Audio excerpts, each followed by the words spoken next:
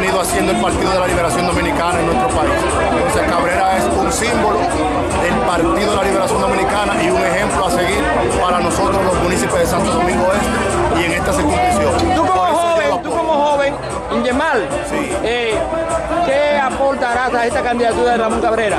Bueno, para la candidatura de Ramón Cabrera, lo primero es que mi familia, mis amistades, mis amigos, de softball aquí en Santo Domingo Este, principalmente en la circunscripción número 2, son mis amistades y a través de mí ese será su apoyo a, a Ramón Cabrera.